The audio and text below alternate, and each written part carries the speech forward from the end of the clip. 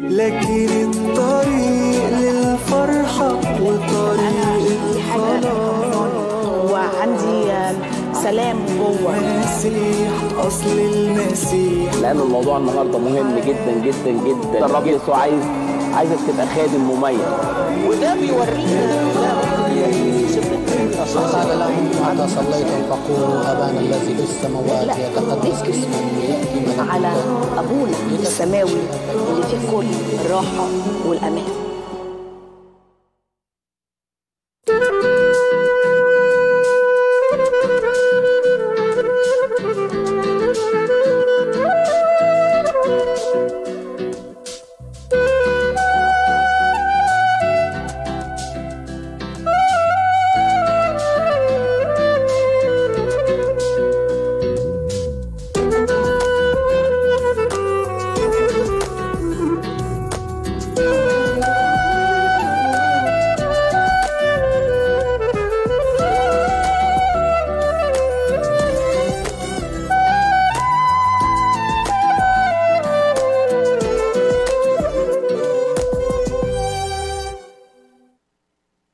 أعزائنا المشاهدين أرحب بكم في لقاء جديد وبث حي ومباشر على قناة الطريق وبرنامجنا الأسبوعي كنوز مخفية. سأبدأ بنعمة الرب ابتداء من هذا اللقاء بسلسلة خدمات تحت هذا العنوان الكبير أسميه كعنوان طبعا الارتداد في المسيحية.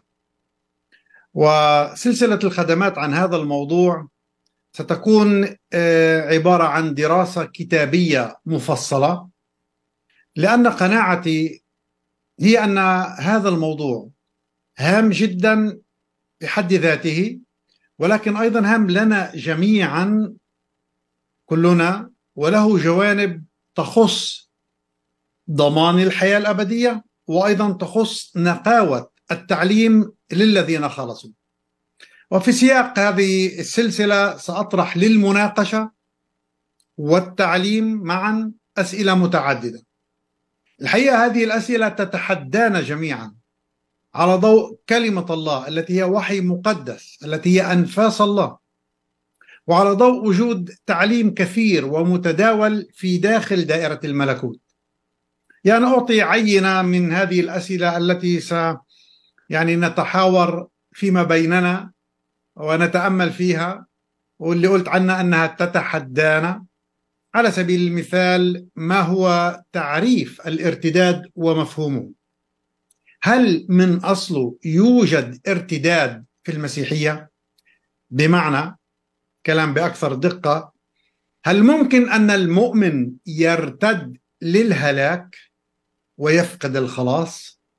هل المنطق البسيط يقودنا إلى تبني إمكانية هلاك المؤمن أم أن العكس صحيح؟ أن المنطق أيضا يدلنا أنه لا يمكن أن يهلك المؤمن. ثم ما هي الشواهد الكتابية الواضحة التي تؤكد لنا أن المؤمن لا يمكن أن يهلك إلى الأبد؟ أين هي تلك الشواهد الكتابية القاطعة؟ وطبيعة الحال ماذا عن الشواهد الكتابية الأخرى التي توحي لنا لأول وهلة؟ عكس ما أنا أقوله الآن. بمعنى توحي لنا أنه وأؤكد لأول وهلة أنه ممكن للمؤمن أن يهلك. ثم منهم المؤمنون نعم أؤكد هذا التعبير المؤمنون ولكنهم يرتدون للهلاك. يعني أنا بستعمل لفظ مؤمنين وأضيف وأقول أن هذه المجموعة مع المجموعة مع أنه صفتهم مؤمنين لكنهم يرتدون للهلاك الأبدي. من هم؟ ثم سنتعامل مع السؤال ما هي مواصفات وبينات الارتداد في زماننا الحاضر؟ وعلى ماذا يركز العدو الشيطان في أيامنا ضد أولاد الله المخلصين؟ كيف يمكن لنا كمؤمنين مخلصين أولاد الله؟ وطبعا السؤال يخص كل مؤمن حقيقي. كيف نسلك وسط هذا العالم الساقط المرتد؟ ما هي التحديات؟ ما هي أنواعها؟ وما هي المعونات في الطريق لكي نواجهها ونسلك حسنا في رضا الرب؟ ثم هل توجد مكافآت يعني تستحق كل هذا الجهد من جهة المؤمن الأمين المخلص المجتهد. وهكذا أسئلة كثيرة ومتعددة تتحدانا. وبعدها سأتناول بنعمة الرب أجزاء من كلمة الله وهي كثيرة فعلا تعتبر تحت هذا الوصف شائكة وصعبة التفسير. وسنحاول أن نفسرها مفصلين كلمة الحق بالاستقامة. فهيا نبدأ إذا في هذا المشوار من سلسلة الخدمات كما ذكرت في بداية الحلقة ما هو الارتداد؟ ما هو تعريفه؟ ما هو مفهومه؟ يعني إحنا أحيانا نستعمل كلمات من خلال انتمائنا إلى دائرة الملكوت أو سماعنا لعظات كثيرة وتعليم كثير نستعمل تعابير قد نظن أننا نفهمها ثم نصدم عندما نسأل سؤال بسيط ومباشر. ما هو مفهوم الارتداد؟ على سبيل المثال لأن هذا هو موضوع تأملنا. ما هو تعريفه؟ ما هو مفهومه؟ هنا أريد أن أوضح الأمر. كلمة ارتداد تحتوي أكثر من معنى وذلك حسب سياق الكلام. يعني أعطي أمثلة. الارتداد إلى الوراء. عندما نقول هذا التعبير ماذا نقصد؟ الارتداد إلى الوراء معناه التقهقر والتراجع. واضح. طيب لو قلت ارتداد الموج موج البحر معناه بكل بساطة تراجع حركة البحر عند انكسارها على طول الشاطئ فتتراجع ترتد إلى الخلف. هذا معنى آخر. ممكن أحيانا نسمع هذا التعبير ارتداد سكاني في موضوع الجغرافيا. هي في الحقيقة عملية الهجرة من المدن إلى الريف. وقد تميز بها سكان كثير من المجتمعات الرأسمالية المتقدمة وهي اتجاه معاكس لنموذج الهجرة الذي شاع في القرون القديمة في كثير من الحالات. ثم أقول الارتداد كتعبير إضافي نستخدم فيه كلمة الارتداد. الارتداد عن الدين أو الارتداد عن الإيمان معنى التخلي عنه والرجوع عنه. هذا لغويا. لكن هيا نسأل ذات السؤال في الإنجيل. ما معنى وما هو مفهوم الارتداد كما ورد هذا التعبير في الإنجيل؟ الحقيقة وردت كلمة الارتداد بأكثر من معنى من معنى وذلك بحسب سياق الكلام والقرينة. المعنى الأول الذي يتبادر إلى الذهن هو ارتداد للهلاك أي رفض كل التعاليم المسيحية الأساسية التي تخص خلاص الإنسان. يرفضها يرتد عنها أي إنسان. فلذلك يهلك ابديا. مثلا إنكار لاهوت المسيح. إنكار وحي الكتاب المقدس. إنكار الكفارة. إنكار قيمة وكفاية دم المسيح على الصليب. إنكار الصليب من أصل. هذه أمور أساسية. الذي يرتد عنها يرتد للهلاك وللهلاك الأبدي. وهذا معنى وارد طبعا بحسب الإنجيل. المعنى الثاني اللي أيضا في الإنجيل ممكن نقوله ووردت هذه التعابير هو ترك الإنسان لأخيه ارتد عنه. أو تراجع عن الشركة. سنرى أن هذا المفهوم أيضا يرد في الإنجيل. أو ترك الخدمة والمسؤولية. وهذه كلها مع أنه تستخدم فيها كلمة الارتداد لكن كلها لا تفيد أن الإنسان بالضرورة قد هلك. يعني خلينا أعطي أمثلة من الإنجيل لكي نوضح هذا المعنى. آه، بولس على سبيل المثال بيعلمنا في الرسالة الأولى لتيموثاوس ومن بداية الإصحاح الرابع أن الروح يقول صريحا اسمع هذا التعبير أنه في الأزمنة الأخيرة يرتد هو ذا جذر الفعل الارتداد يرتد قوم عن الإيمان تابعين أرواح مضلة وتعاليم شياطين. هذا التعبير عندما نقرأه في هذا الشاهد الكتابي نتعلم أن هذا حالة ارتداد للهلاك. حالة ارتداد للهلاك. لأن الذي آه، آه، ارتد عن الإيمان تبع أرواح مضلة وتعاليم شياطين. شاهد كتابي آخر لكي نوضح المضمون. مضمون آه، معنى كلمة الارتداد في ضوء الإنجيل. من جهة مجيء الرب. بولس يكتب لنا هذا التعليم في تسالونيكي الثانية والإصحاح الثاني. بقول لا يخدعكم أحد على طريقة ما لأنه لا يأتي إن لم يأتي الارتداد. لا يأتي بمعنى لا يأتي الرب لأنه يتكلم عن موضوع آه، مجيء الرب الثاني. فبيقول هذا لا يأتي إن لم يأتي الارتداد أولا ويستعلن إنسان الخطية ابن الهلاك. هذا طبعا ارتداد للهلاك. التعبير إن لم يأتي الارتداد أولا فيعلمنا عن ارتداد للهلاك. إنه ارتداد كامل. فيه سيظهر إنسان الخطية. وهذا التعبير إنسان الخطية عبارة عن شخصية شريرة جدا مكتوب عنه في ذات الرسالة تسالونيك الثاني والإصحاح اثنين.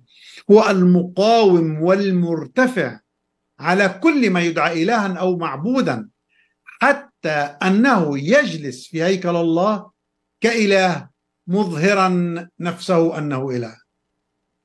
طيب هذا جهة يعني واحدة لمفهوم الارتداد للهلاك الأبدي كما ورد هذا التعبير في الإنجيل.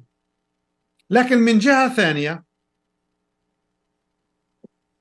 ممكن نقرأ شاهد كتابي آخر على سبيل المثال. اللي كتبه بولس لتيموثاوس في الرسالة الثانية. بيعلمنا هذا الكلام في الرسالة الثانية والإصحاح الأول. بيقول إنه بقول له لتيموثاوس أنت تعلم هذا أن جميع الذين في آسيا ارتدوا عني. ننتبه للتعبير. ارتدوا عني. الذين منهم في جلس وهرمجانوس هنا المقصود أن هذين الشخصين اللي ذكرهم بالاسم تركا بولس كشخص لأنه قال ارتدوا عني. كان بولس في حاجة لهم بسبب ضيقه وآلامه ولكنهم تركوه. بهذا المعنى ارتدوا عنه. وأنا برأيي أقول لا يوجد أي ذكر ولا حتى أي استنتاج أن هؤلاء المسيحيين اللي ذكر عنهم بولس كمثال فيما كتب في جلس وهرمجانوس أن هؤلاء المسيحيين قد تركوا الرب أو تركوا الكنيسة إلا أن تركهم لبولس في ساعة المحنة هذه كان ممكن نسميه نوعا أو ضربا من الجبن ومن عدم الأمانة. خلينا أوضح هاي الآية بالذات لأنها بتعلمنا أن استعمال الوحي المقدس لكلمة الارتداد لا تعني ارتداد للهلاك لكن تراجع عن شخص تراجع عن طريق عن مسلك عن شركة عن خدمة تراجع بهذا المعنى. لأناس هن في داخل الملكوت. فبيقول مثلا على سبيل المثال إحنا بنقول إنه للأسماء مدلول ومعنى يفيدنا لكي نفهم الرسالة المتضمنة في النص الذي نقرأه ففي جلس هذا شيء تعليمي أقول معنى هذا الاسم هارب. هرموغانوس معناها مولود. ومش بالصدفة ذكر الاسمين هذول عنوة عن أسماء كثيرة كان ممكن يذكرها. لأنه في جلس هارب هرموغانوس مولود. يعني فورا نتعلم عن مؤمن مولود من الله رمز لكنه ترك مسؤوليته وهرب منها. فواضح أن الارتداد هنا يعني ترك المسؤولية ترك الشخص الذي هو بولس. ترك الخدمة على سبيل المثال. ممكن أضيف أيضا أن توجد إشارة إلى أن ما أقوله الآن هو هذا التفسير الصحيح. وهذه الإشارة تكمن في تكملة كلام بولس بعد أن ذكر في جلس وهرميجانوس لأنه أضاف عن شخص مختلف.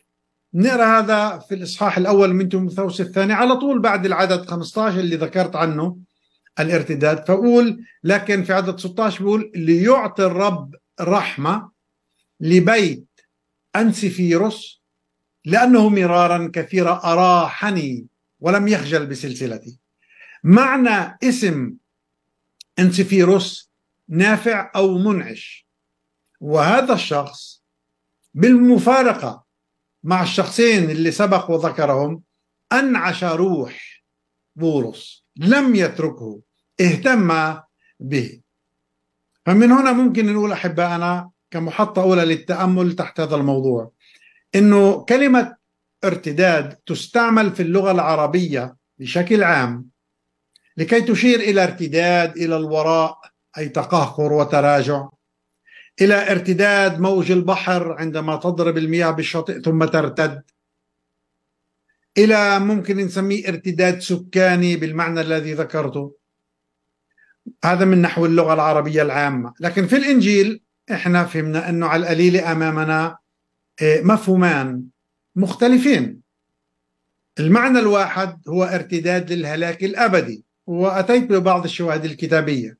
والمعنى الثاني ارتداد بمعنى ترك الشخص أو ترك مسؤولية أو ترك خدمة. ارتداد. فطبعا هذا لا يفيد بالضرورة الهلاك الأبدي أبدا.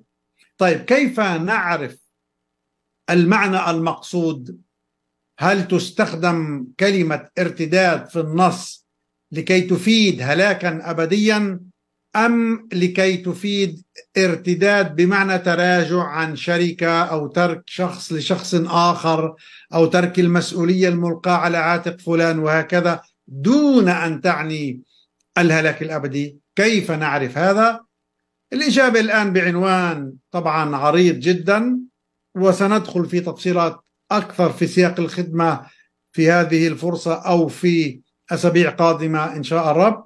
أنه توجد قواعد معروفة وهامة ومتفق عليها للتفسير وسندخل إليها واحدة فواحدة لكي نتعلم وفي يعني مقدمتها ما ممكن نسميه القرينة. طيب الآن نسأل هذا السؤال. هل يوجد من أصله. هل يوجد ارتداد في المسيحية؟ أنا حابب هنا في بداية الكلام أشير إلى أني لا أتكلم عن مفهوم ترك المؤمن المخلص لمسؤوليته أو لواقع الحياة الروحية أو لمستوى راقي في الحياة الروحية وهكذا أو لخدمة كما ذكرتها قبل قليل. لكني لأن هذا النوع معلش يعني بين قوسين موجود بكثرة في داخل ملكوت المسيح. مخلصين حلوين ولكن كسالى. يتراجعون يرتدون عن المسؤولية وعن الخدمة وعن الشركة وهكذا. مش عن هذه المجموعة أتكلم لكني سأتكلم عن مفهوم محدد جدا. إذ أقول هل يوجد ارتداد في المسيحية للهلاك الأبدي؟ هنا أشير بكلام واضح. أعزائنا المسيحي المولود بالجسد لوالدين مسيحيين ممكن جدا أن يرتد للهلاك. المؤمن مش بس اللي له اسم مسيحي لأنه يوجد في داخل هذا الانتماء أو دائرة الاعتراف اللي اسمها المسيحية. كثيرين اللي هن من أصل زوان زرع في داخل المسيحية يحمل الاسم ولكن لا علاقة له لا من باب ولا من طاقة بالمسيحية. هذا إنسان مرتد أصلا إلى الهلاك الأبدي.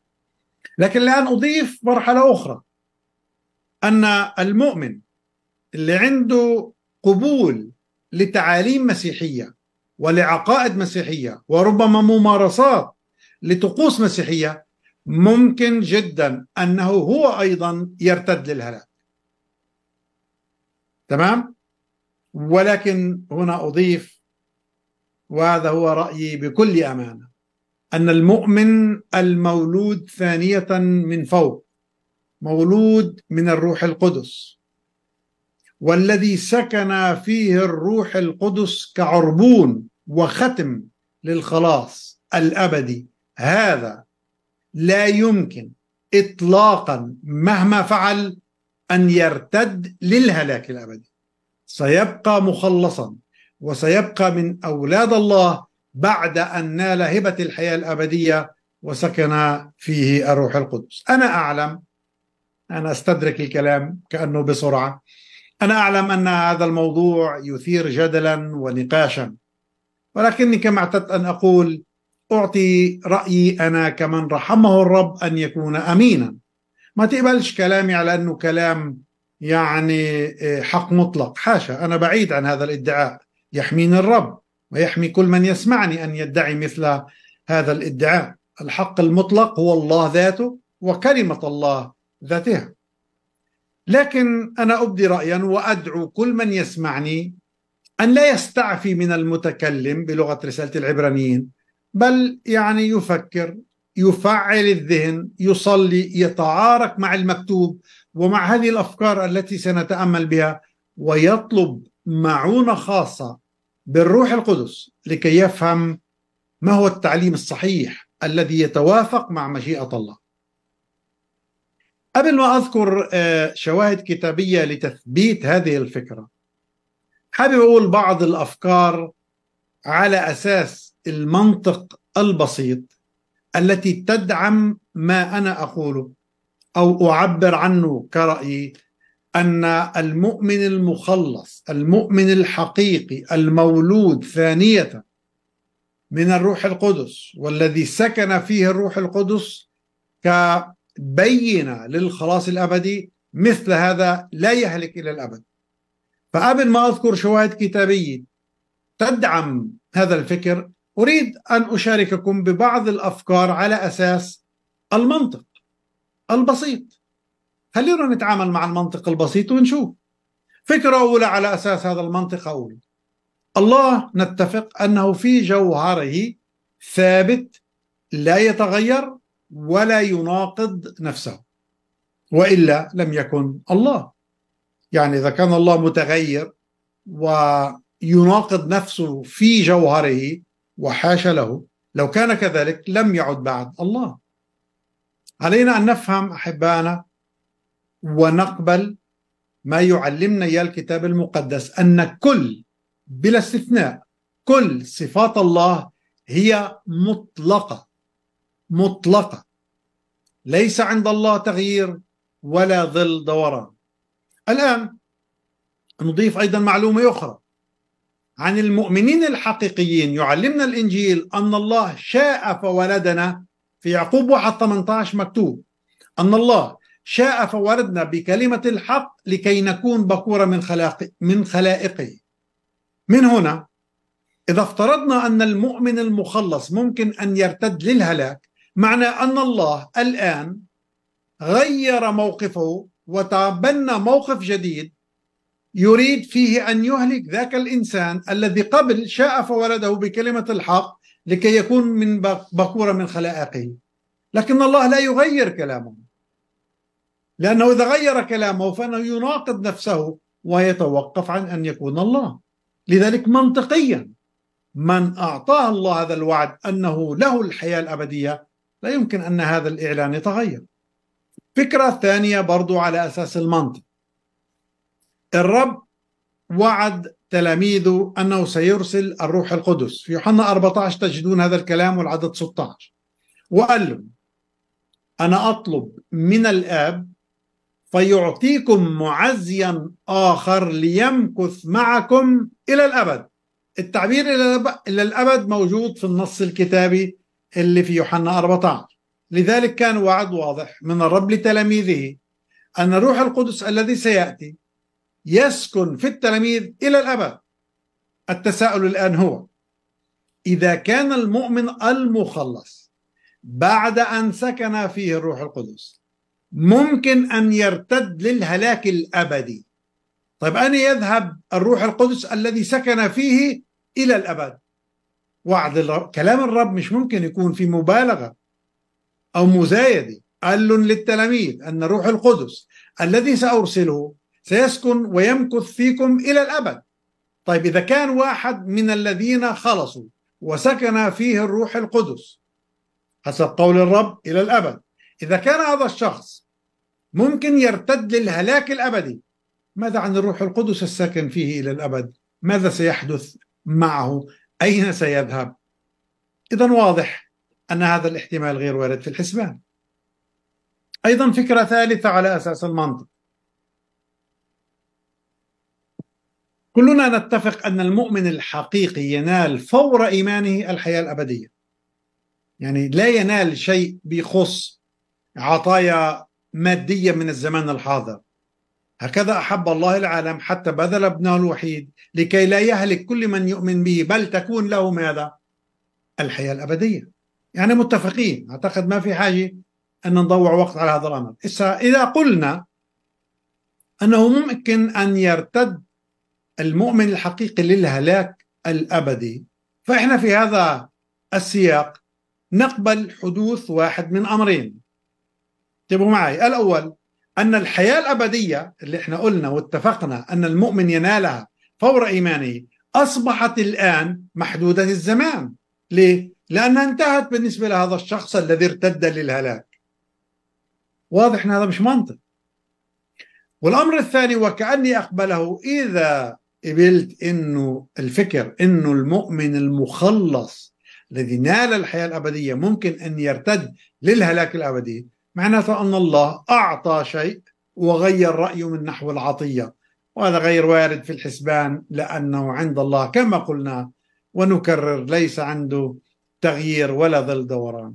سأذكر فكرة رابعة, رابعة لكي أستغل الوقت المتبقي على أساس المنطق. هؤلاء يا جماعة هل يوجد إنسان راعي إنسان عادي راعي أمين لقطيعه للخراف يقبل أن يترك خروف من خرافه يضل عنه ولا يفتش عليه؟ ألا يذهب وراءه ويضحي لأجله؟ طب وإحنا؟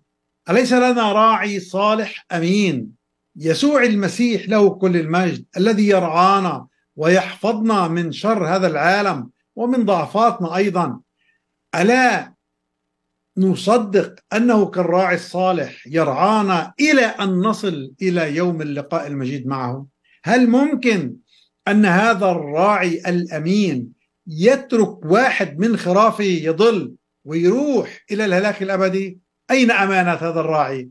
إن كنا لا نقبل هذا عن راعي إنسان عادي مع غنم عادي كيف نستطيع أن نقبل هذا الفكر مع ربنا يسوع المسيح راعينا الصالح الأمين. طبعا في هذا السياق أقول وارد في الحسبان أنه داخل القطيع الخرفان يوجد دخيل لا يتبع الراعي الصالح. هذا طبعا ممكن أن يذهب بعيدا ويهلك؟ نعم لأنه من أصله ليس من القطيع الحقيقي. هذه رباعية من أسميها الأفكار على أساس المنطق البسيط تدعم الفكرة المركزية التي حاولت أن أقدمها أنه في المسيحية. المؤمن الحقيقي المخلص المولود ثانية من الروح القدس. لا يمكن على الإطلاق أن يرتد للهلاك الأبدي مع أنه ممكن أن تزل به القدم ويرتد بالمفهوم الثاني الذي ذكرته فيترك خدمته أو يترك شخص آخر كان أمينا معه أو يترك مسؤوليته أو يترك شهادته أو يترك قامته الروحية العالية وهكذا. لكن ليس ارتداد للهلاك. أعزائنا المشاهدين أكتفي بهذا الأمر الذي ذكرته في شقيه وأصلي إنه نتابع معا هذا الموضوع الهام في أسبوع قادم إن تأنى الرب في مجيئه وإلى ذلك الوقت. أستودعكم لله. ولكلمة نعمته كونوا في سلام. آمين. ثم وطريق حاجة وعندي سلام جوه. المسيح أصل المسيح لأن الموضوع النهارده مهم جدا جدا جدا. الرب يسوع عايز عايزك تبقى خادم مميز. وده بيورينا قال لهم متى صليتم فقولوا أبانا الذي في السماوات يتقدس يأتي على أبونا السماوي اللي فيه كل الراحة والأمان.